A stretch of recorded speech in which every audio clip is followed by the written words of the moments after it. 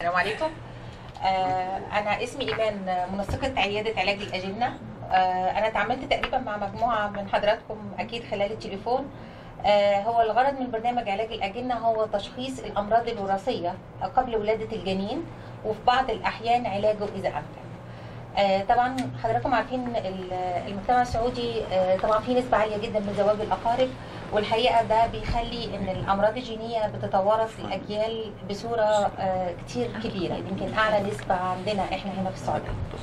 آه، الغرض من البرنامج هو تحديدا آه، ان يخلي ال obstetrician في في وزارات في مستشفى وزارة الصحة إنها تحاول تحول لنا الحالات اللي هي لاقية فيها fetal abnormalities أو آه، أو عيوب خلقية للجنين. آه، طبعا هي مش كلها للأسف بتقدر تتعالج بس إلى حد كبير على الأقل إحنا ممكن نكتشف إيه المشكلة اللي خلت ست مثلا جابت ثلاث أو أربع أجنة بنفس الفيتشر أو بنفس الشكل وخلت إن الجنين ده يتوفى. طبعا هو بيكون محبط جدا للدكتور المعالج لأن هو مش عارف يعالج الموضوع. فدي واحدة من الحالات اللي ممكن تتحول لنا. بناخد أثناء الحمل عينة من دم الجنين وبنقدر بتتبعت عن طريق المختبرات اللي موجودة عندنا. الحقيقة اكتشفنا مؤخرا كمية طفرات كبيرة جدا نقدر نساعد بيها في الحمل الجاي. يعني الحمل اللي بيكون فيه المشكلة ده غالبا ما نقدرش نساعد إلى أن نقدر نكتشف إيه المشكلة اللي سببت وفاة الأطفال اللي, سبقوا. ومن خلال الأم والأب بنعرف إن هما حاملين لطفرة معينة أدت إلى التوارث ال- الطفرة دي. آه، كمان بيبقى في نوع من التعاون إن إحنا بنشخص وبنرجع دايما الحالة للمستشفى ال- المعالجة على أساس بتكون أخذت خطة علاج. لو كان مثلا جنين آه، مصاب بأمراض لا يرجى برئها و- وكتير وجنين وصل مثلا للشهر السابع أو الثامن فطبعا إحنا في المرحلة دي ما بنقدرش إن الجنين ينزل على حسب الفتوى لأن الفتوى بتقول إن يمكن آه، إجهاض ال- الحمل قبل مرور 120 يوم اللي هو بنحسبها حوالي 19 أسبوع ويوم من تاريخ الحمل. إذا كان المرض لا يرجى برؤه أو لا تتأتى معه الحياة أو تتأتى معه الحياة بصعوبات شديدة. دي على حسب آه، قرار لجنة كبار العلماء. اللي بعد كده آه، أيدت بقرار من الديوان الملكي. بس دي في الحالة اللي إحنا بنكتشف فيها إن الجنين مصاب بالمرض ده أثناء الحمل قبل مرور 120 يوم. ولو كان حاجة ممكن نجهض الجنين إحنا ليتلي أو مؤخرا بقينا ن- ن- نخلي اللجنة من المستشفى التخصصي بتطلع موافقة إن الجنين ده آه، ممكن إجهاضه بنرسلها للمستشفى اللي محولاه على أساس إن إحنا بنكون اخذنا المسؤولية القانونية. لأن على حسب برضو الفتوى إن بعد إقرار ثلاث دكاترة مسلمين عقلاء إن هم الجنين ده لإجهاض وبنرجعها تاني للمستشفى اللي محوله المرض. فطبعا دي بتقطع آه، نسبة كبيرة جدا من الأمراض الوراثية اللي ممكن تصيب المجتمع وخصوصا زي ما حضراتكم عارفين إنها كلها أمراض بتكون معظمها صعب وعلاجها مكلف وفي كثير من الأحوال بي- ممكن تؤدي إلى مشاكل اجتماعية بين الزوجين نفسهم لأن هما بيبقوا حاسين إن كل مرة بيخلفوا الجنين بيطلع مصاب فبيبتدي يحس إن هو ممكن يتجوز واحدة تانية أو هي حاسة إن مش هي المشكلة ممكن تكون منه وهكذا. فطبعا لو حصل وعرفنا بنتجنب ال- ال- المشكلة أو إنجاب طفل مصاب في المرات القادمة. فهو المطلوب بس التحويل. على فكرة تحويل الحالات دي آه، في ناس كتير للأسف في المستشفيات فاهمة إن الموضوع صعب جدا تحويل الحالات المستشفى التخصصي لكن بجد تحويل الحالات اللي زي دي بتقبل مرات the same day فعلا في نفس اليوم.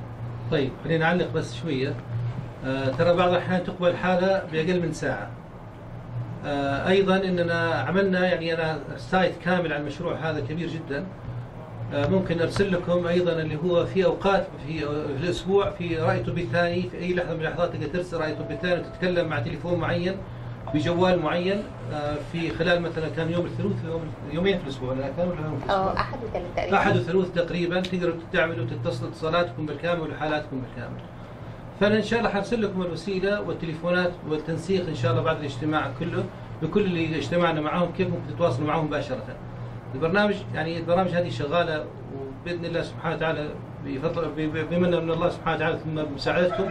بان شاء الله إننا إحنا يعني نستفيد من الاجتماع هذا بإننا إحنا نستخدم الأشياء الموجودة المتوفره ترى هذه موجودة من سنة وسنتين وثلاثة. فانتم الآن تحتاجوا إلى بس فقط إنكم تبدأوا تستخدموها. تفضل في أحد عنده أي استفسار؟ الله يعطيك العافية سعيد من البحة آه، بالنسبة لكلام الدكتور الله يعطيه العافية أنا عندي حالة حولتها قبل أسبوع بس ما تم قبولها في جدة والرياض كذلك. الحالة هذه طبعا لسه ما وصلت ال ال 13 أسبوع تقريبا. المريض طبعا يتابع التخصصي عندكم واكتشف عنده مرض genetic واثنين من ال- الأطفال توفوا آه، عندهم آه، بعد بعد الولادة.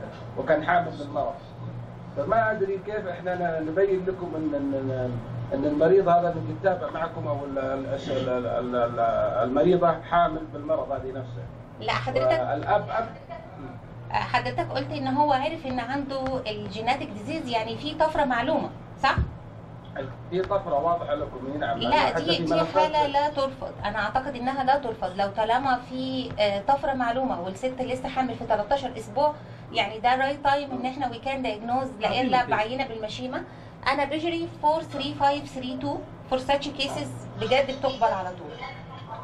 الله يعطيك العافية. أنا ممكن حتى ممكن أرسل لك التقرير حقها حالا. حالا أنا أنا حرسل لك مش أنا حرسل لك الآن معلومات مش لها هي بس. أيضا للدكاترة الدكتورة النمر الدكتورة الصحن. كلهم. تحت أمرك في أي لحظة من اللحظات تتصل مباشرة في أي لحظة. ما حتى التحويل على إيميلي. أنا كنت سايبة على ال website email ي أنا ال- الشخصي بتاع المستشفى وأنا الحالات اللي بتجيلي أنا بحولها on the spot للدكتورة وسام كردي هي اللي بتقرر قبول الحالة على طول. حتى في بعض المناطق معاهم بيجري وبيحولوا لي الحالات على طول وبوديها للدكتوره وسام وساعات بتكون المشكلة في ال NICU ما بتبقاش فينا. لو إن ال- baby محتاج يتولد ومفيش أسرة في ال NICU ساعتها ممكن بنرفض لكن حالات ال diagnosis زي ما قلت دي بتبقى سهلة اللي هي بتكون في ال early pregnancy وخصوصا زي ما حضرتك تفضلت وقلت إن في known mutation أو طفرة معلومه طبعا هذه الآن بس. معلومات عامة عن المشاريع يعني ممكن نحدد لكم اجتماع ثاني. إن شاء الله نديك تفصيل كامل وتجيك أيضا الدكاترة الدكتور الصحن والدكتورة مها النمر والدكتور الشنيفي ممكن يجي يعرف كيف فكفريق كامل نبدأ نتناقش ونشوف يعني مثلا الايجابيات والسلبيات من الفترة الماضية بإذن الله. طيب. الله يجزاكم بالخير شكرا جزيلا